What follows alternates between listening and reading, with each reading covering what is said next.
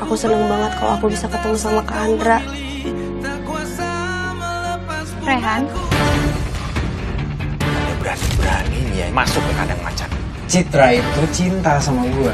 Dia itu pacar gua. Lo tuh cuma ditipu. Rehan yang aku kenal, itu dia baik banget dan sopan. Kamu tuh udah bener-bener bukan Rehan. Kan?